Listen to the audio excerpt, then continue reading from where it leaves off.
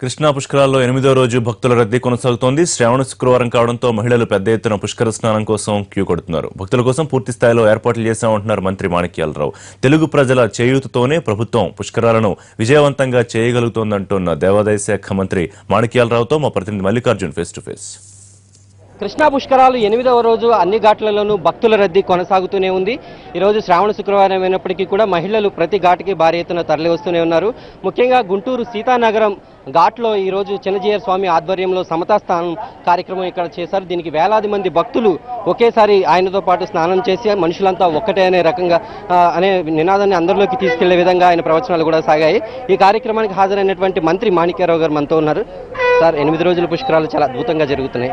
మీ హయాంలో అటు గోదావరి పుష్కరాలు ఇటు కృష్ణ పుష్కరాలు ఎలా అనిపిస్తుంది? చాలా సంతోషం కలిగించేది. రెండు చోట్ల కూడా ఆంధ్రప్రదేశ్ ప్రభుత్వం ప్రధానంగా ముఖ్యమంత్రి గారు చాలా ప్రెస్టేజ్ ఇష్యూగా బహుశా కనీ వినియోగ రీతిలో ఇక్కడ భద్రతా ఏర్పాట్లు కానీ శానిటేషన్ కానీ ఘాట్ల నిర్మాణంలో కానీ సౌకర్యాల విషయంలో కానీ ప్రభుత్వ పరంగా ఏ రకమైన చర్యలు తీసుకున్నామో.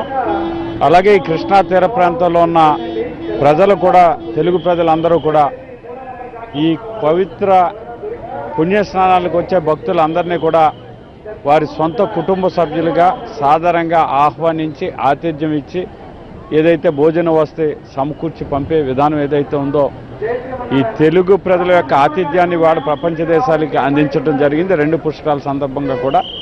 ఈ రకంగా ఇటు ప్రభుత్వంతో పాటుగా ప్రజల చేయూత కారణంగానే ఇంత పెద్ద ఎత్తున దిగ్విజయంగా ఈ పుష్కరాలని ఆంధ్రప్రదేశ్ ప్రభుత్వం నిర్వహించగలిగింది. ఆలయాల్లో కూడా రోజు రోజుకి భక్తుల తాగిడి పెరుగుతుంది. దుర్గమ్మ ఆలయం కానీ చుట్టుపక్కల ఆలయాలు కానీ దేవాదాయ శాఖ తరపున ఎటువంటి ఏర్పాట్లు ఇంకా ఈ రానున్న రోజుల్లో భక్తుల్ని ఇంకా ఆకర్షించడానికి ఎటువంటి ఏర్పాట్లు? ఈ దేవాలయాల్లో పెరుగుతున్న భక్తుల తాకిడికి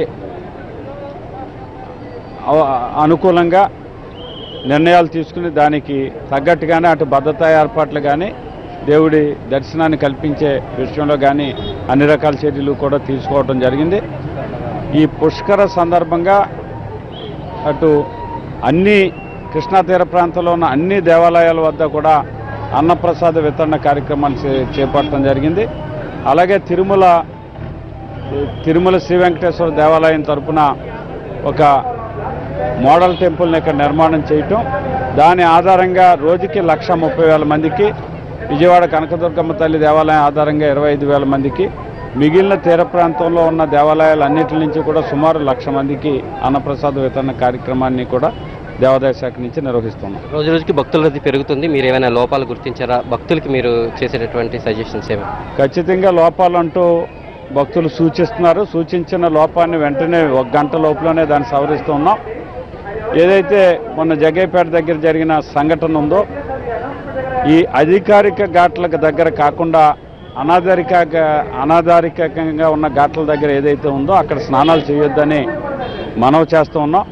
దీని కారణంగా ఎక్కడైతే భద్రత కల్పించబడిందో ఎక్కడైతే అధికారికంగా గుర్తించబడిందో అక్కడ అన్ని రకాల జాగ్రత్తలు ప్రభుత్వం తీసుకునుంది మీకు కూడా చాలా సుఖప్రదంగా అక్కడ పవిత్ర స్నానం చేసుకునే అవకాశం ఉంది.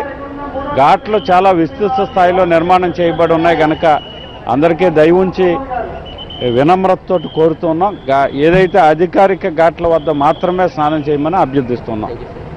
ఆ భక్తుల రద్దీ ఎంత పెరిగినప్పటికీ కూడా దేవాలయాల వద్ద తగినటువంటి ఏర్పాట్లు చేయడంలో తమ శాఖ నిమగ్నమైంది. అలాగే భక్తులు కూడా కొంత సంయమనం పాటించి అధికార ఘాట్లో స్నానం చేయాలని దేవాదాయ శాఖ మంత్రి మాణిక్యరావు గారు సూచిస్తున్నారు. అలాగే భక్తులు ఎంతమంది వచ్చినా లోపాలు వారు చెప్పేటటువంటి లోపాలన్నింటినీ ఎప్పటికప్పుడు సవరించి భక్తులు ప్రశాంతంగా ఇళ్ళకు చేరేటట్టుగా అన్ని చర్యలు తీసుకుంటామని మంత్రి మాణిక్యరావు చెబుతున్నారు.